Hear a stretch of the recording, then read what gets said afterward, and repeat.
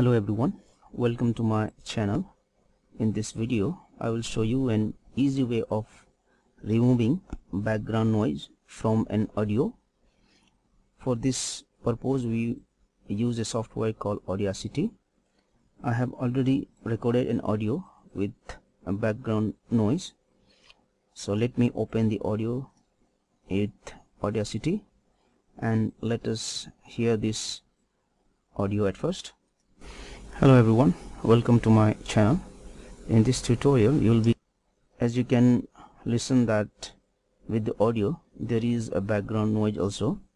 So in order to remove this background noise what we need to do is we need to select the background noise. How do you select the background noise? We will just select the portion of the audio where we don't speak and there is only the background noise then click on effect.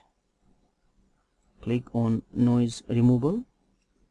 And click on this get noise profile button. Now again let us select this whole audio. Then click on effect. Click on noise removal. And click on this ok button. Now all the background noise will be removed and your audio will be clear. Let us play and listen to the audio again. Hello everyone. Welcome to my channel. In this tutorial you'll this time it sounds better than the previous because the background noise have been removed. So in this way you can remove the background noise from an audio with the help of Audacity. Thanks for watching. Please like share and subscribe to my channel